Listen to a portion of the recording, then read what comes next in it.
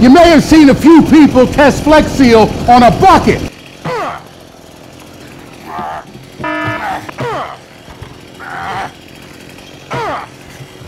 That's a lot of damage. How about a little more?